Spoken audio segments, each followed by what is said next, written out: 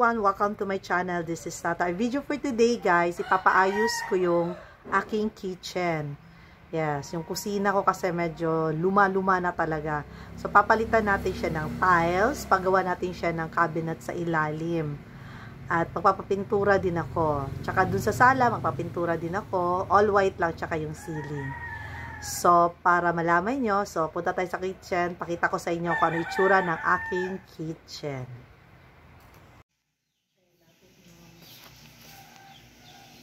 Pakita mo rin yung dami sa mga lababo. Sa kalimbuin. Ang ganda ng lababo sa loob. Hindi pa nakita yung lababo sa loob. Yung pa.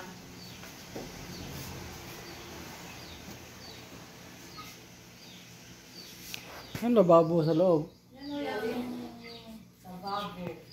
Yan, ang itsura niya. Hindi. Oh, pwede rin. Ilalim naman ang lababo yan. Yung lababo mismo dyan sa pan. Tingnan ko kung ano ba siya. Malinis ba siya? Palawang na ba siya? Okay pa ba siya?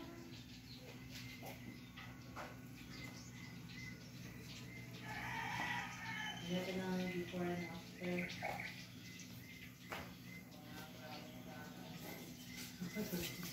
Salita, salita. Busy siya. Yan, yan, yan ang mga lababoy namin. Ano City Hardware. Masyadong tao. First honor. First honor yun. Master Adhesive raw. Okay ngayon, nandito kami ngayon sa City Hardware. Saan na ba yan? May napili na akong tiles.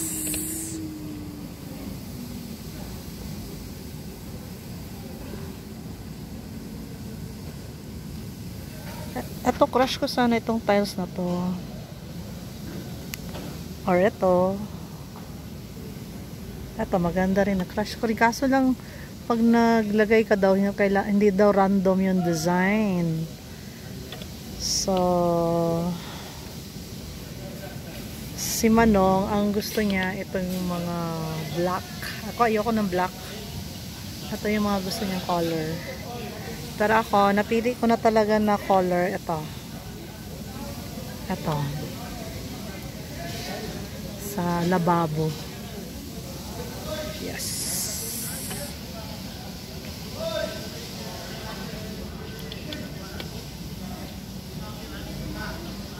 Ito, okay rin naman sana ito. Ganito, oh. Para siyang pan. Pero, parang, mas maganda rin ito. Parang style niya subway. Ito, so parang subway tiles. Pero hindi talaga siya subway tiles. Maganda rin sana ito ilagay, oh. Hmm.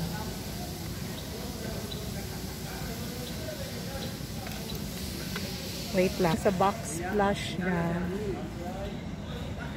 Oh, okay. Ah, Ito na yung furniture nila dito, guys. Ito. Pang outdoor. Tapos, 15,999. So, 16,000. In fairness, maganda rin naman siya. Pero pang outdoor lang talaga siya. Hindi siya pang... Ayan siya, guys. Pakita natin.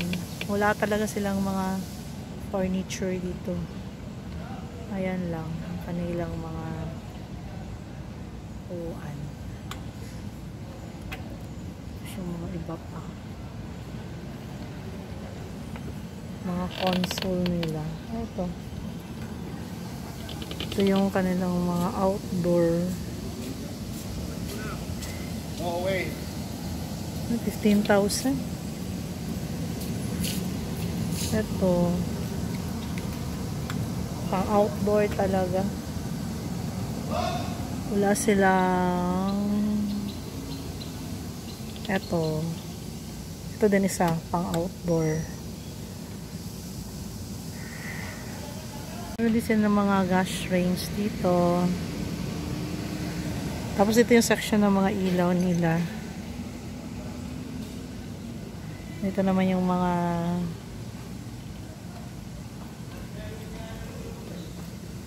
yung ref. Saan tayo maghanap ng pintura?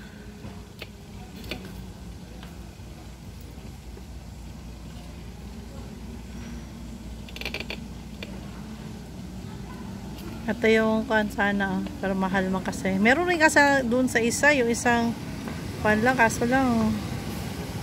medyo mahal. Mahal kasi itong ganito. Oh. Dito yung mga hinanap ko. Sink. Yung mga lababo. So, yung lablab sana yung malaking lababo. Wala akong malaking lababo dito. Oh. Ganyan ba yon? Double. Malalim lang yun lang. Yan, naglagay ganito. 4,000. Hmm. Pero wala talaga yung isang buong sink na pan. Yung isahan lang, no? Wala silang buong sink, sink.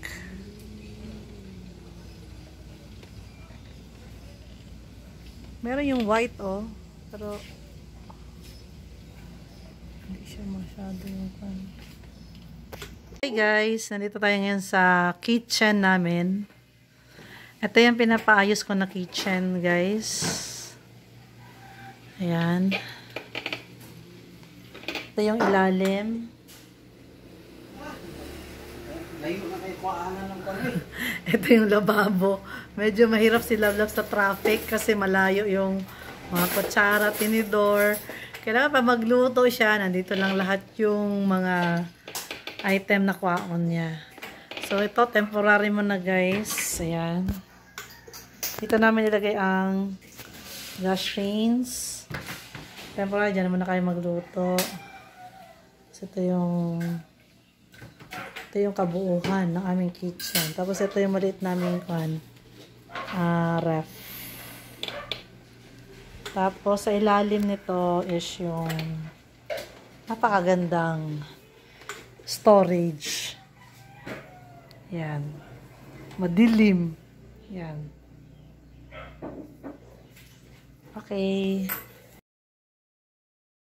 So, ito yung aming living area, guys. Yan.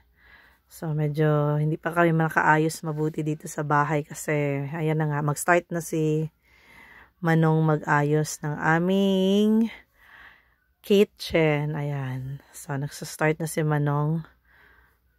Nag, oh, nagsisemento na yan siya, guys. Tapos, bumalik pala kami ng City Hardware kaya may nakalimutan kaming bilhin.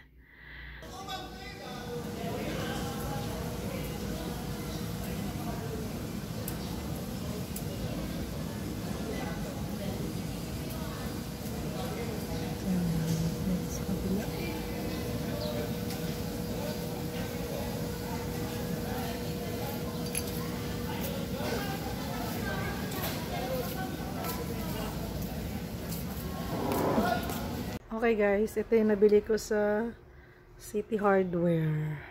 Itong plate pull-out basket. Ang price niya is 2,450. Tapos ito naman yung isa. Ayan, para lang sila ng brand. Bremen. Bremen ba? Oo yan. Ito, lalagyan ito ng mga baso, mga bowl. Ito naman yung mga Ayan, mga plates. Tapos ito, laman nito. Ay, yung mga handle. Pakita ko lang.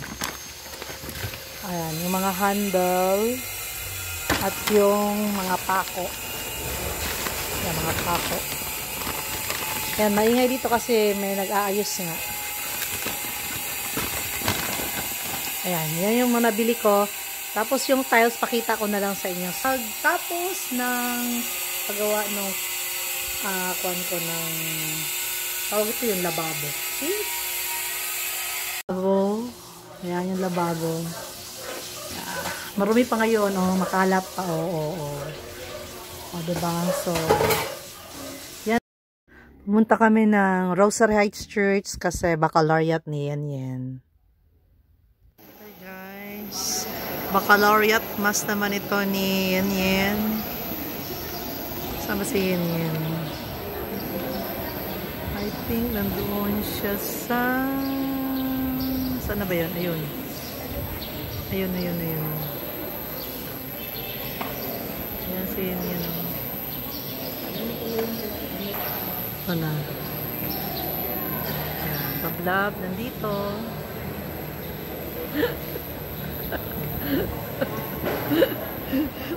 ang mukha ko labang.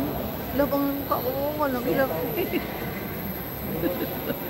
Ibig siguro na kaportante na uluin mo. Diba? Bigyan niyo naman ng pasalamat maski yung naglinis ang silang ninyo o nag nagbantay ng kantin. O lahat. We have to appreciate the effort. Diba? And most especially, we thank God. Kaya thank you very much for coming here.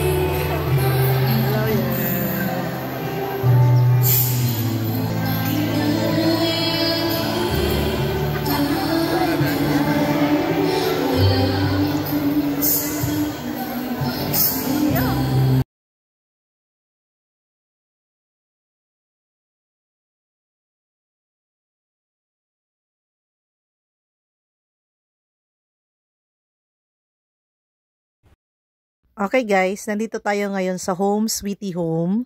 So naghahanap ako ng gas range para dun sa kusina ko. So ayan, naghahanap kami. Hmm, Ito, may nagustuhan kami Fuji Denso. Yes, na apat ang range. Pero hindi ko alam magkano. Parang medyo mahal, 21 plus or 22. Yes, ayan. Ito yung mga iba pa nilang mga gas range. Meron silang Medea, meron silang Technogas, Larger Mania. Ayan. Basta marami pa iba-ibang klaseng mga ah, appliances dito sa ah, Home Sweetie Home. So, wala akong may nakita. So, sabi ko kay Love Love, punta siguro kami sa We Build Homes para check din namin kung magkano yung mga price ng mga appliances nila. So, ayan. Punta kami dito sa We Build Homes. Tama-tama pagpunta namin guys is meron silang sale. Yes, ito yung kanilang location sa Parang Road. Ayan, nakita rin namin dito yung hinahanap namin. Ah, yung, ah, ayan, meron silang Medea. At meron silang mga Technogas, Larger Mania, Fuji Denso. So, may nakita na ako guys. Yes, may napili na ako dito sa area na to.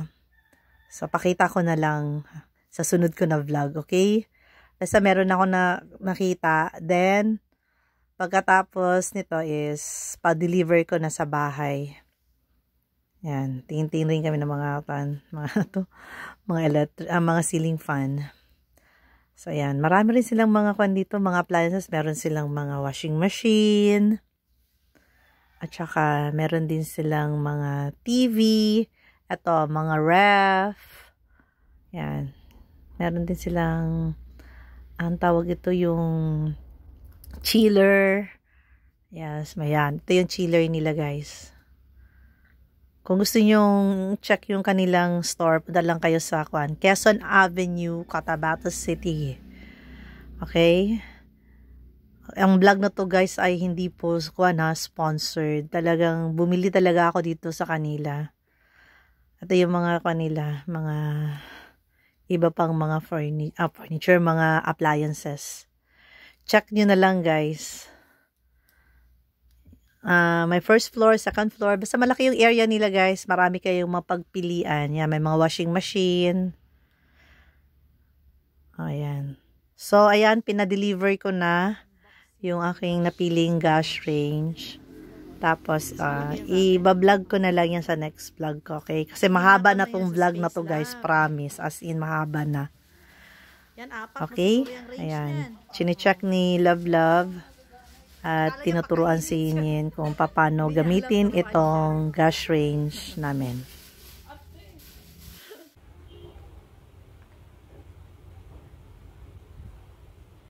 Ito nga pala guys, yung aking living area. So, ito naman next nating i-hunting ang sofa.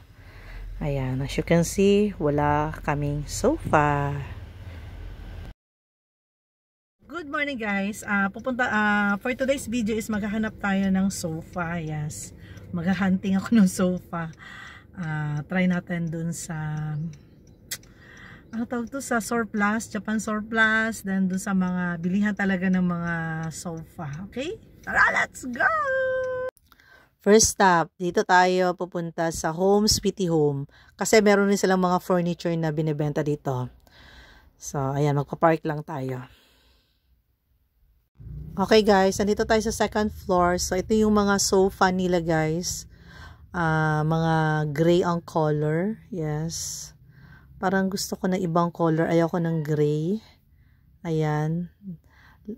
Yan siya yung mga gray nila na mga sofa. Meron din sila bang color? May blue, may green, may orange. Pero parang naghanap ako ng ibang color. Yes. Marami pa yata dun sa unahan. Kaso lang wala lang ilaw. Meron din sila ditong mga kwan, mga bed frame, mga foam, Yes, parang meron yata silang Mandawi foam din dito. So, ayan. Yung kanilang mga bed. So, wala akong napili na sofa dito sa Home Sweetie Home. Try natin sa ibang store naman. Okay guys, next stop, dito tayo sa We Build Homes. Check natin yung kanilang mga display na sofa sa second floor. Tingnan natin kung meron tayong magustuhan guys. Okay guys, nandito tayo sa second floor. So, meron rin sila ditong mga beds. Ayan, meron rin silang mga console table.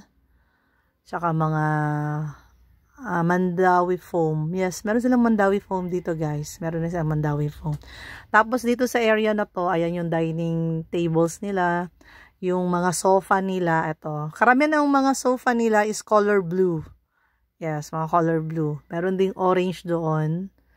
Ayan, ito yung kulay brown din nila na isang sofa. Ayan. Tapos, meron pang mga uh, sofa bed. Doon sa unahan yon Yes, ayan. So guys, ayan yung mga furniture nila dito sa second floor. Okay? So, may nakita na ako. Mayroon ako nagustuhan.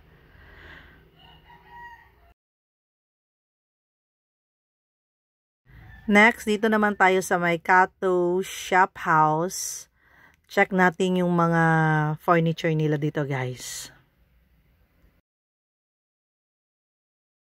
So, nandito kami sa second floor. So, makita nyo yung mga beds. May mga display sila ng mga beds. Ang gaganda ng mga beds nila, guys. Yes, ayan. Yung mga beds. Mga office table, office chairs. Yan, nandyan ako. Nakichika-chika. Uh, very accommodating naman yung mga tao dito guys. Ayan. So, pakita lang namin yung mga beds nila dito guys. Sa second floor ito guys ha. Nauna kami sa second floor. Uh -uh. Ang ganda ng mga beds nila. Meron mga rin pala sila ditong mga uh, Mandawi foam. Ayan, Mandawi foam yan siya guys. Dito meron rin silang mga dining table and chairs. Meron rin silang mga mirror, mirrors. Yes. Ang gaganda. Very aesthetic yung kanilang mga furniture, guys. Ayan. As you can see, ayan. Very aesthetic, di ba? Ang gaganda. Oh, pati yung mga salamin nila, ang gaganda rin talaga. Lahat maganda. Pati yung mga ilaw nila, magaganda. Yes. Kaso lang, nakapili na kasi ako sa kabila. Ito yung mga dining tables and chairs nila, guys. O, oh, diba? Very aesthetic. Yung mahilig sa mga ratan-ratan, meron sila dito. Mga solihiya chairs, meron rin sila. Yeah, ito yung sofa. Ganda rin ng sofa. Kaso nakapili na kasi ako sa kabila. So, baka iba na yung nabili ko dito.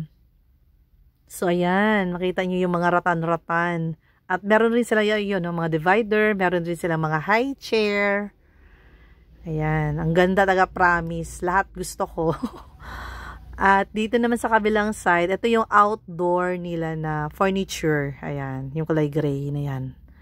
Yan yung outdoor. So, basta marami akong nakita guys. Pwede naman kayo bumili dito ng mga katulad niyan, mga ilaw nila, mga ratan-ratan na ilaw. Pero to crush ko rin talaga to, itong kanilang chair na ratan. Yan, mga basket. Para siguro yan sa mga kwan, sa mga plantita. Yes, yung nilalagay nila sa loob yung kanilang mga paso, ba? So ito yung sa first floor, guys. Ayan. O, ba? Ang ganda ng mga kanila, mga furniture nila. Sus, kung marami lang akong pera, bilhin ko lahat. Charot. Pero hindi, talaga promise, guys. Pwede kang bumili ng paisa-isa. Pwede naman siguro, oh, yung mga accent chairs nila. Kung gusto mo yung ganito lang, dalawang uh, dalawang chairs with tables, ayan, pwede naman. By set siguro yan siya bilhin. Yes. Tapos ayan, pag nag-ikot-ikot kayo dito, uh, first floor and second floor lang sila guys. Ayan. Marami kang makikita ng mga items. Pero rin silang, nagbebenta rin sila yung marang spray para sa mga linens at saka sa room. Ayan. O, ba diba? Ang ganda talaga. So, yan yung crush ko o yung upuan na yan. Ang cute. Pero in actual guys, ang ganda niya talaga, promise. Yes. Dito naman sa kabilang side, malapit sa entrance nila, ito yung kanilang coffee shop. So, kung pagod ka nang mag-ikot-ikot, so pwede ka nang magkape-kape dito. Yes, coffee lang sila guys. Wala sila ibang pan coffee, meron silang mga muffins, Yes, nag-order ako dito ng Spanish latte. Kay Love Love, meron siyang in-order pa rin. Nakalimutan ko na kung ano yung in-order. Basta kape rin. Yes, kape. Nag-coffee-coffee muna kami. Chill-chill. Then siguro itong aking vlog is may part 2 ito guys. Okay? Dahil napakahaba na.